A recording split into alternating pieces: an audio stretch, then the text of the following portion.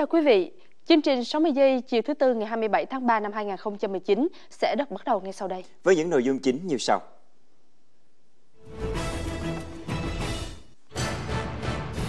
Tập thể dục giữa giờ tại công sở mang lại nhiều lợi ích. Hơn 50 người ở Hà Tĩnh bị ngộ độc sau khi ăn dỗ. Thưa quý vị, trong những ngày qua, thời tiết trên địa bàn thành phố Hồ Chí Minh và các tỉnh lân cận luôn ở tình trạng nắng nóng. Nhiệt độ ngoài trời vào buổi trưa luôn ở mức cao từ 33 đến 36 độ C, đặc biệt tia cực tím cao vượt 11 cộng. Đây là mức được cảnh báo có thể gây hại cho da và mắt nếu ở ngoài trời nắng trong thời gian dài. Dù Đài khí tượng thủy văn khu vực Nam Bộ đã cảnh báo người dân hạn chế ra đường từ 12 giờ đến 15 giờ vì mức độ nắng nóng và tia cực tím cao, nhưng vì yêu cầu công việc mưu sinh, nhiều người dân trên thành phố Hồ Chí Minh vẫn phải ra đường cùng với những giải pháp tự bảo vệ cơ bản. Nắng nóng kéo dài có thể gây ra nhiều tác hại cho sức khỏe. À, có những triệu chứng bất thường cũng như là à, hồi hộp, tim nhanh, chống ngực, rồi thậm chí mình cảm giác như cơ thể mình nóng lên quá, rồi bụng rủng tay chân, à, có thể là ờ, đó là những cái triệu chứng chúng ta say nắng. Thì nên quan tâm là chúng ta phải ờ, ờ, có cái biện pháp là ngừng hoạt động ngoài trời đi kiểm tra sức khỏe của mình. Dự báo sau vài cơn mưa trái mùa, vào giữa tháng 4 sẽ là đợt nắng nóng tiếp theo, có nhiệt độ cao hơn và phức tạp hơn. Người dân cần đặc biệt lưu ý phòng tránh. Môi trường làm việc trong công sở vốn ít vận động, dễ dẫn đến các bệnh lý về xương, vai, cổ. Việc tập thể thao là giải pháp tối ưu cho vấn đề này, nhưng không phải ai cũng sẵn sàng dành thời gian để đi tập luyện. Nhân ngày 27 tháng 3, Ngày Thể dục Thể thao Việt Nam, mời quý vị cùng chúng tôi tìm hiểu một phương pháp tập luyện vừa đơn giản vừa mang lại nhiều lợi ích, đó là tập thể dục giữa giờ làm việc. 10 giờ sáng và 15 giờ chiều mỗi ngày, những cán bộ công chức văn phòng của Tổng cục Thể dục Thể thao lại tham gia bài tập giữa giờ làm việc. Các bài tập này thường tập trung vào các nhóm cơ mà người làm việc công sở rất ít vận động, dễ gây ra sự mệt mỏi. Với hình thức tập nhẹ nhàng 5 phút, việc tập luyện này sẽ giúp kéo giãn các cơ đó, đồng thời tạo cảm giác thư giãn hơn. Nó khỏe ra và hiệu quả làm việc nó tốt hơn. Khối lượng bài tập này thì nó đơn giản thôi, nó ngắn gọn chỉ trong vòng 3 mấy phút thôi. Từ khi được tập bài tập này thì cái tinh thần làm việc rất là sảng khoái và là cái khi khối lượng công việc thì cũng có thể uh, làm được hiệu quả hơn. Ngồi làm việc liên tục khiến nhiều người làm công sở mắc các bệnh lý về xương khớp. Trong khi đó, việc dành thời gian tập luyện thể thao của người Việt hiện cũng hạn chế vì nhiều lý do khác nhau. Thử vận động 5 phút mỗi ngày với những bài tập như thế này tại công sở sẽ là một gợi ý tốt cho một hoạt động tập thể nhiều bổ ích. Gần đây trên địa bàn thành phố Hồ Chí Minh đã liên tục xảy ra nhiều vụ hỏa hoạn nghiêm trọng với tần suất đáng báo động, trong đó một số vụ cháy lại xuất phát từ sự chủ quan thiếu ý thức của người dân khi đốt rác cỏ dẫn đến cháy lan. Chiều qua 26 tháng 3, tại một bãi cỏ trong một khu đất trống trên địa bàn phường Hiệp Bình Chánh, quận Thủ Đức, bất ngờ xảy ra một vụ hỏa hoạn khiến nhiều hộ dân hoảng loạn. Vụ cháy xuất phát từ việc người dân đốt rác cộng với thời tiết hành khô và gió lùa khiến lửa bùng phát không thể kiểm soát. Vụ cháy không gây thiệt hại nghiêm trọng nhưng khiến nhiều người hoảng sợ vì lo cháy lan vào nhà.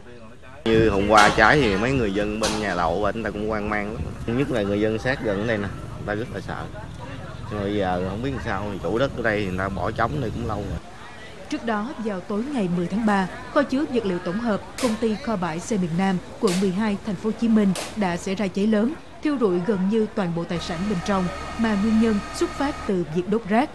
Cũng với nguyên nhân này, vào chiều ngày 16 tháng 3, người dân đốt rác đã dẫn tới đám cháy rất lớn, khói tỏa mù mịt ra cả đường sông Hành và xa lộ Hà Nội, gây ảnh hưởng đến người dân lưu thông người dân chỉ nên phát quan các bãi cỏ, thu gom rác vào đúng nơi quy định để hạn chế các nguy cơ gây hỏa hoạn.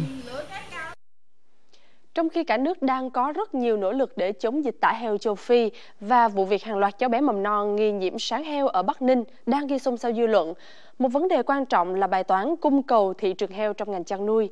Người tiêu dùng nên tránh tâm lý lo sợ không căn cứ và quá mức cần thiết. Tại chợ Nguyễn Thái Bình, quận 1, thành phố Hồ Chí Minh, các quầy bán thịt heo không còn nhộn nhịp như trước, các tiểu thương đều giảm sản lượng nhập thịt. Tại chợ Tân Định, so với trước đây, lượng thịt heo bán được chỉ bằng 1 phần 3. Cái gian hàng vậy bán có 200, 200 mấy chục ngàn. Thực tế, tâm lý e ngại dịch bệnh khiến người tiêu dùng giảm hoặc ngưng ăn thịt heo, cũng nguy cơ đẩy ngành chăn nuôi vào một cuộc khủng hoảng mới chỉ sau một năm hồi phục. Hiện tại trong giờ phút này thì chúng ta không nên tẩy chay mà nên sử dụng một cách khoa học một cách đúng cách làm người tiêu dùng thông minh và chúng ta cũng có một cái vấn đề nữa, đó là khi mà sử dụng thịt heo bệnh, mà heo bị bệnh tả châu phi thì như tôi nói các ngành các cấp sẽ nỗ lực hết sức và hiện giờ tại thành phố Hồ Chí Minh thì chắc chắn là không có cái chuyện là heo bị tả châu Phi à, mà chúng ta sử dụng làm thực phẩm.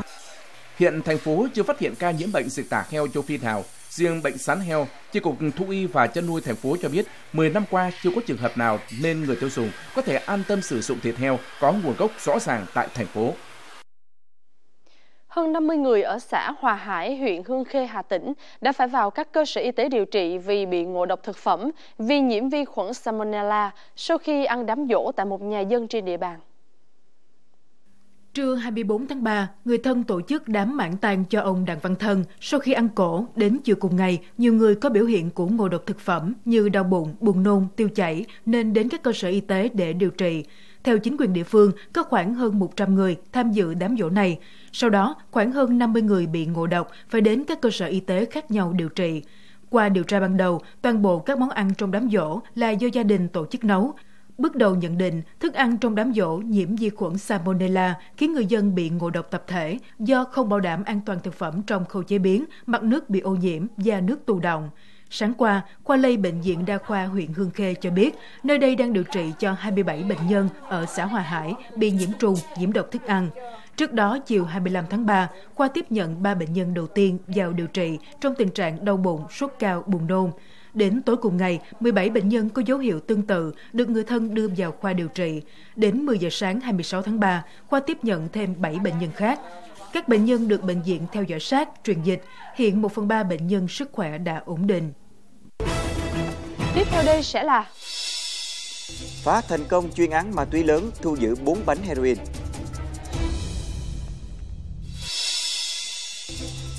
Thông tin vụ xe khách đâm vào đoàn người đưa tang 7 người tử vong. Trường Đại học Kinh tế Thành phố Hồ Chí Minh khẳng định, trường không ban hành thông báo tuyển sinh và không tổ chức tuyển sinh đào tạo chương trình như thông báo giả mạo đã xuất hiện gần đây. Hôm qua ngày 26 tháng 3, Trường Đại học Kinh tế Thành phố Hồ Chí Minh xác nhận vừa qua trường có nhận được phản ánh về việc giả mạo thông tin tuyển sinh bằng hình thức thông báo tuyển sinh chương trình cử nhân quốc tế, chương trình đào tạo liên kết doanh nghiệp quốc tế năm học 2019 phát hành ngày 15 tháng 3 năm 2019. Theo thông báo giả mạo tuyển sinh chương trình cử nhân quốc tế, chương trình đào tạo liên kết doanh nghiệp quốc tế 2019 có thời gian đào tạo 2 năm rưỡi với học phí 62 triệu đồng một học viên một khóa. Hình thức đăng ký đơn giản, chỉ cần quẹt thẻ ATM, đảm bảo đồ ra 100% sinh viên ra trường được làm việc đúng chuyên môn tại doanh nghiệp do trường liên kết. Đại học Kinh tế Thành phố Hồ Chí Minh yêu cầu các tổ chức cá nhân không lợi dụng thương hiệu của trường để tiến hành các hoạt động tuyển sinh, đào tạo vi phạm quy định và chưa được sự đồng ý của trường. Công an huyện Sông Mã, Sơn La vừa cho biết đã phá thành công chuyên án ma túy lớn, thu giữ 4 bánh heroin.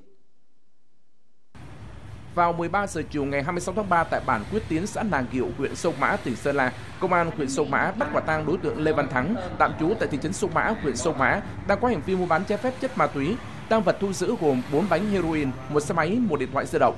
Mở rộng điều tra, công an huyện Sông Mã tiếp tục bắt giữ Lầu Bà Câu, trú tại bản Khua Họ, xã Hủy 1, huyện Sông Mã về hành vi mua bán trái phép chất ma túy. Khám xét nơi ở của Lầu Bà Câu, thu giữ một gói heroin, ba khẩu súng, một quả lựu đạn giả cùng một số tăng vật khác có liên quan. Hiện vụ việc đang được tiếp tục điều tra. Công an huyện Bến Cầu, tỉnh Tây Ninh đang làm việc với Trần Văn Hạnh, một đối tượng cho vay nặng lãi tại huyện này. Trước đó, vào ngày 26 tháng 3, trong lúc đang tuần tra ở khu vực ấp Long Châu, xã Long Khánh, Công an huyện Bến Cầu phát hiện đối tượng này đang thu tiền của những người vay tiền nên đã mời về trụ sở làm việc. Tại cơ quan điều tra, Hạnh khai nhận từ tháng 8 năm 2018, Hạnh đã đi đến các địa bàn huyện Gò Dầu, Bến Cầu để tìm những người gặp khó khăn có nhu cầu vay vốn mà thủ tục đơn giản để cho vay với số tiền từ 2 đến 10 triệu đồng với lãi suất từ 20% đến 35% một tháng. Qua xác minh ban đầu, Hạnh đã cho khoảng 80 người dây Khám xét nơi ở của Hạnh, thu giữ nhiều sổ hộ khẩu, giấy chứng minh nhân dân, một xe máy, 5 triệu đồng, ba sổ ghi tên người dây. Hiện vụ việc đang được tiếp tục điều tra làm rõ. Một vụ tai nạn liên hoàn vào sáng nay giữa ba ô tô và xe máy xảy ra trên đường Võ Trần Chí, đường dẫn vào cao tốc thành phố Hồ Chí Minh Trung Lương qua địa bàn huyện Bình Chánh làm hai người thương vong. Khoảng 7 giờ 10 phút sáng nay, ông Lâm Văn Quang, 49 tuổi, quê Kiên Giang, chạy xe máy chở theo con gái Lâm Trúc Linh chạy trên đường Võ Trần Trí hướng từ quốc lộ 1 về cầu Chợ Đệm. Khi qua giao lộ đường Trần Đại Nghĩa, huyện Bình Chánh khoảng 200 m thì xảy ra va chạm với một trong hai phương tiện là ô tô 7 chỗ và xe khách 29 chỗ lưu thông cùng chiều. Cú va chạm khiến ông Quang bị xe khách 29 chỗ cuốn vào gầm kéo lê một đoạn trên đường chết tại chỗ. Người con văng xa phía ngoài bị thương được người dân nhanh chóng đưa vào bệnh viện cấp cứu. Sau đó, chiếc xe ô tô 7 chỗ này còn va chạm với ô tô 4 chỗ chạy cùng chiều phía trước rồi mới dừng lại. Vụ tai nạn liên hoàn khiến các phương tiện hư hỏng, nằm chắn phần lớn diện tích mặt đường Võ Trần Trí, đường dẫn vào cao tốc Thành phố Hồ Chí Minh Trung Lương, khiến giao thông qua khu vực bị ùn xe kéo dài. Được biết cả hai cha con ông Quang đang trên đường đi đến chỗ làm thì không may gặp nạn. Một vụ tai nạn thảm khốc xảy ra vào khoảng 5 giờ sáng nay tại ngã tư quốc lộ 2C giao với tuyến đường đi Mã Lọ, đoạn qua thôn Trung Nguyên, xã Trung Nguyên, huyện Yên Lạc, tỉnh Vĩnh Phúc. Một xe khách bất ngờ mất lái lao thẳng vào đoàn người đang đi đưa tang. Đến đầu giờ chiều nay đã có 7 người chết và 3 người bị thương trong vụ tai nạn này. Đoàn đưa tang nói trên khi đang chờ khởi hành ở ngã tư quốc lộ 2C thì bị xe khách chạy tuyến Điện Biên, Lập Thạch, Vĩnh Phúc tông thẳng. Theo những người chứng kiến, xe khách không có dấu hiệu phanh hạm tốc độ mà lao thẳng vào đám đông. Lúc gây ra tai nạn, tốc độ chiếc xe khách dừng nằm được ghi nhận là 78 km một giờ trước khi về 0 km một giờ. Vụ tai nạn làm 5 người tử vong tại chỗ, 2 người tử vong tại bệnh viện và 3 người khác bị thương. Ngay sau khi tai nạn xảy ra, tài xế xe khách đã đến cơ quan công an trình diện. Nguyên nhân ban đầu của vụ tai nạn được xác định là do sương mù, hạn chế tầm nhìn và lái xe không chú ý quan sát nên đã đâm vào đoàn người đi đưa đám tang. Hiện vụ việc đang được tiếp tục điều tra làm rõ. Chủ tịch Ủy ban Nhân dân tỉnh Nguyễn Văn Trì đã đến thăm hỏi, chia buồn từng gia đình bị nạn và chỉ đạo huyện Yên Lạc, xã Trung Nguyên và các đoàn thể xuống hỗ trợ các gia đình tổ chức tang lễ cho người bị nạn. Được biết, xe gây tai nạn còn hạn kiểm định đến hết ngày 6 tháng 6 năm 2019. Phó Thủ tướng Trương Hòa Bình, Chủ tịch Ủy ban An toàn Giao thông Quốc gia đã gửi lời thăm hỏi chia buồn với gia đình nạn nhân không may tử vong. Phó Thủ tướng đề nghị lãnh đạo tỉnh Vĩnh Phúc chỉ đạo các đơn vị tập trung cứu chữa nạn nhân bị thương để giảm thiểu thiệt hại. Thưa quý vị, hôm nay trên quốc lộ 9 đoạn qua địa bàn thị trấn Cam Lộ, huyện Cam Lộ, tỉnh Quảng Trị cũng đã xảy ra một vụ tai nạn giao thông nghiêm trọng do xe container gây ra. Xe container mang biển kiểm soát Lào kéo theo rơ móc do Nguyễn Văn Đại trú tại huyện Cam Lộ, tỉnh Quảng Trị điều khiển, chạy hướng thành phố Đông Hà đi Lao Bảo. Trên xe chở gỗ dăm đã bất ngờ mất lái lao vào nhà dân. Xe container đã làm đổ nhiều cột mốc, cây hai bên đường, sập mái che của nhà anh Nguyễn Minh Hảo ở khu phố 4 thị trấn Cam Lộ. Rất may vụ tai nạn không gây thiệt hại về người. Thời gian gần đây, tình trạng xe container chở gỗ dăm trên quốc lộ 9 tăng đột biến, tiềm ẩn nhiều nguy cơ mất an toàn giao thông đối với người tham gia giao thông cũng như người dân sống hai bên đường. Tình hình an toàn giao thông diễn biến rất xấu trong thời gian gần đây, cho thấy sự quá tải của người lái, phương tiện và hạ tầng đã đến giới hạn. Trong điều kiện nhu cầu vận tải còn tiếp tục gia tăng, rất cần có một cuộc tổng rà soát đánh giá để đề ra các giải pháp tăng cơ hơn. Ở phần thông tin cập nhật, tai nạn giao thông nghiêm trọng tại Bình Chánh hai người tử vong. Phát hiện hơn 500 chiếc đồng hồ giả các thương hiệu sang.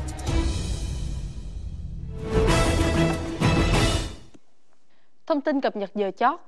Đầu giờ chiều nay, một vụ tai nạn giao thông nghiêm trọng đã xảy ra giữa xe máy và xe tải trên đường Trần Đại Nghĩa, xã Tân Nhật, huyện Bình Chánh, thành phố Hồ Chí Minh, làm hai vợ chồng trẻ chết thương tâm. Khoảng hơn 12 giờ trưa nay, anh Kim Đơ chở vợ là chị Diệp Thị Sáng bằng xe máy biển số 83 P1 82527 lưu thông hướng từ khu công nghiệp Lê Minh Xuân ra quốc lộ 1. Khi đến trước số B19 Xuyệt 402A Trần Đại Nghĩa thì tông trực diện với xe tải biển số 51C 84271 chạy hướng ngược lại. Cú tông cực mạnh khiến các nạn nhân văng xa nhiều mét, tử vong tại chỗ. Chiếc xe máy bị hỏng nát, trong khi chiếc xe tải bị hỏng nặng phần đầu. Ngay khi nhận tin báo, Công an huyện Bình Chánh đã có mặt xử lý hiện trường, điều tra nguyên nhân. Theo những đồng nghiệp làm chung, anh Kim Đơ và chị Diệp Thị Sáng mới cưới nhau trước Tết, hiện đang thuê trọ tại huyện Bình Chánh để đi làm. Trưa cùng ngày, cả hai vợ chồng chạy xe máy chở nhau về lại quê Sóc Trăng thì xảy ra tai nạn đau lòng này. Chiều nay, đội cảnh sát kinh tế công an thành phố Buôn Ma Thuột đang phối hợp với Cục Quản lý Thị trường tỉnh Đắk Lắk hoàn tất hồ sơ để xử lý hai cửa hàng ở thành phố Buôn Ma Thuột về việc buôn bán hơn 500 đồng hồ giả các thương hiệu. Chiều tối ngày 21 tháng 3, tổ công tác của đội cảnh sát kinh tế công an thành phố Buôn Ma Thuột phối hợp với cục quản lý thị trường tỉnh Đắk Lắk để kiểm tra tại tiệm đồng hồ Nhật Dĩnh và tiệm đồng hồ Lợi Phát thì phát hiện trên 500 chiếc đồng hồ giả các thương hiệu nổi tiếng như Rolex, Tissot, Cartier, Neos Inox. Trong đó, tại tiệm Nhật Dĩnh có 169 đồng hồ trị giá khoảng 250 triệu đồng và tại tiệm Lợi Phát có 350 chiếc đồng hồ trị giá khoảng 450 triệu đồng. Tại thời điểm kiểm tra, chủ hai cửa hàng không xuất trình được các loại giấy tờ chứng minh nguồn gốc xuất xứ của số đồng hồ trên. Toàn bộ sản phẩm đồng hồ này là hàng giả nhái của các hãng nổi tiếng. Sau khi lập biên bản, toàn bộ số đồng hồ này đã bị tạm giữ để xử lý theo quy định của pháp luật. Chương trình 60 giây hôm nay của chúng tôi đến đây là hết. Cảm ơn quý vị đã quan tâm theo dõi. Hẹn gặp lại quý vị trong chương trình 60 giây sáng mai. Xin kính chào tạm biệt.